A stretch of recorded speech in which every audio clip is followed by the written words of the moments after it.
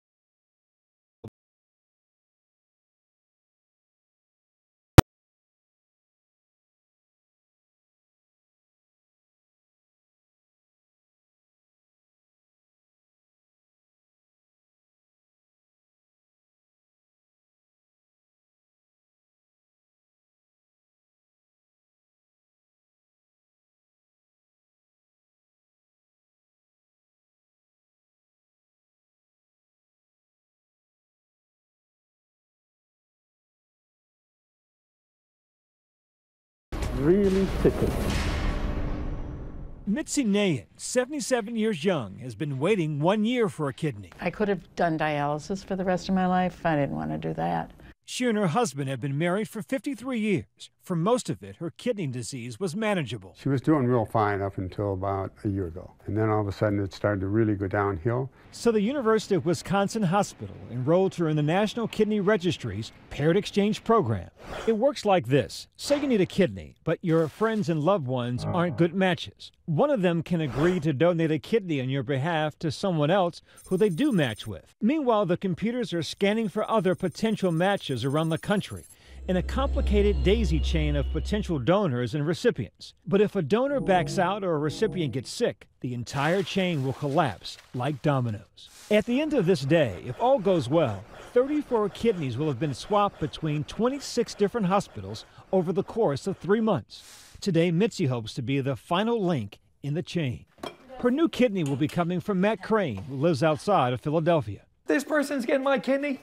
If they all of a sudden have an affinity toward Crystal Light, this kidney's working great. He's donating on behalf of his wife, Michelle. If it took for me to give my kidney to somebody in order to get Michelle a, a good, healthy kidney, I'm ready to do that. The news that I was going to be able to be transplanted this month, I, I was flabbergasted. But in order for Michelle and Mitzi's transplant to happen, everything needs to go according to plan with the other five surgeries taking place today. So here's our flexible camera. First up, Baltimore, Maryland where Latwanya Gosley is donating a kidney on behalf of her brother Charles. My kidney's supposed to go to Pittsburgh, so I always joke that if it's a Steelers fan, they're going to wake up bleeding purple.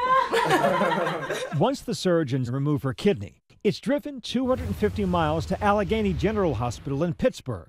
It's going to Gary Watson. In exchange, his daughter's friend Christine Brock is donating her kidney. Love you. Christine is wheeled off into the OR. And about three hours later, her kidney is ready to be sent on its way. We're going to Allegheny County Airport to Voyager Air. Package is secured. And from there, it will fly 368 miles on a private plane to New Jersey. A courier picks it up. We're on our way to Cornell Hospital.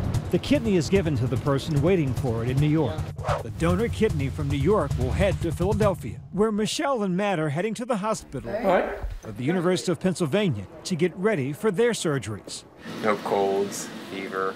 No. Matt meets with his surgeons first. I'm not the one who needs to be ready to go. You need the one. I'm glad that he's smiling and happy. Just uh, ready to you know, get in there and see Michelle with her new kidney. And we need to make a hole big enough to get the kidney out. While Matt's surgery is underway, Michelle learns her kidney is in transport. He spoke with the hospital in New York, and he um, they said the kidney looked great. Matt's kidney is successfully taken out. It's a beautiful kidney. Surgery went well. The kidney is on its way to the airport. It will fly to Chicago's O'Hare Airport, and from there will be driven 133 miles to Madison, Wisconsin where Mitzi is waiting for it. So your kidney is en route. But with kidney transport, anything can happen. No one knows that better than the man behind today's big chain, Garet Hil.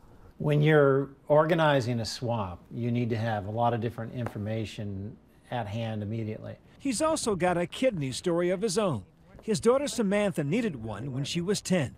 Both my wife and I were incompatible with our daughter. It was a devastating blow.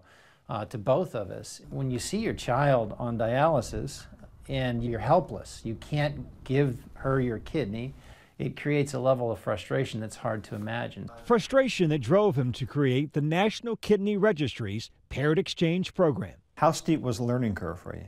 Immense. I learned everything I could about kidney transplant and paired exchange. The very foundation of his model is built on altruism. It all starts with one generous person with no vested interest. That level of, of, of generosity is hard to describe with words. And we've had 250 Good Samaritan donors come through the National Kidney Registry and start chains and have gotten over 1,300 people transplanted. Kathy Hart is the Good Samaritan at the start of what could be this record breaking chain. Helping a neighbor cut their grass, that's one thing. But donating a kidney to a stranger? I think the fact that it was to a stranger is one of the parts that people have a really hard time grasping. It actually even makes it easier. From the very beginning, I didn't have any judgment attached to who gets it or who's deserving, and I have an opportunity to give, and why wouldn't I? It's amazing to think how many people are, you know, benefiting from that, that one person's um, donation. Back in Philadelphia, Michelle gets her new kidney. Most exciting part of the whole thing. We are open now. Look at the color. At it. Fred, there's something. You see it? This is beautiful, really nice. Just out of surgery himself, Matt is overcome when he learns his wife Michelle's surgery was a success. I got everything I wanted today. Best gift you could have gotten. He's got a message from Mitzi in Wisconsin, who's waiting for his kidney. Uh, hang in there, Mitzi. I'm hoping you, you, you, you're, you're, you're feeling as, as blessed as I do right now. I'm feeling pretty well. So I did receive an update that the kidney was picked up by our on-ground transport person. So right on time. My name's Jackie. I'm going to be your OR nurse. Meanwhile, Mitzi gets prepped for surgery. Getting emotional all thinking about this journey that you've been on? As of yesterday, it really sunk in that I was getting this kidney. I honestly, in my heart of hearts, didn't think I'd ever qualify. Her new kidney arrives. It's 618. The kidney's ready. She's ready. It's game time. Skin incision? Mitzi's husband waits anxiously. About an hour in, he gets an update. I just wanted to call and let you know that the kidney is in. Oh my gosh, the kidney is in. That is amazing. Kidneys immediately turned pink. Looks good. All finished? We're all finished. Everything went very well. Good, I'm so happy to hear that. No surprises. Kidney's getting good blood flow. So she's going to outlive me. 68 lives have been changed in what the surgeons have called a chain of love. Now the longest multi-hospital kidney chain in U.S. history. It is a huge operation, but it's driven by the hearts and minds of people, people that want to do it. If there was no love in this, it wouldn't happen.